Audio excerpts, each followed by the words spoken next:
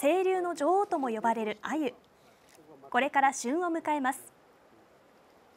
山国川では夏の風物詩友釣りが今日解禁され中津市耶馬渓町の河原にも朝から竿を操る愛好家が訪れていました。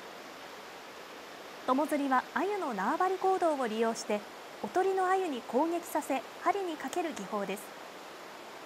山国川漁協では4月から合わせて28万匹の稚魚を放流。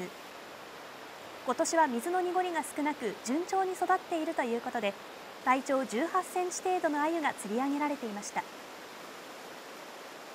嬉しいですね。もうようやくやってきたという感じでおとり鮎をですね折れそうなところにこう導いていたらパーンとかかるというもうそこが醍醐味ですね。独特な香りがあることから香魚の異名を持つ鮎はこれから秋にかけて体長およそ30センチまで成長を続けます。山国川の鮎漁は12月末まで続きます。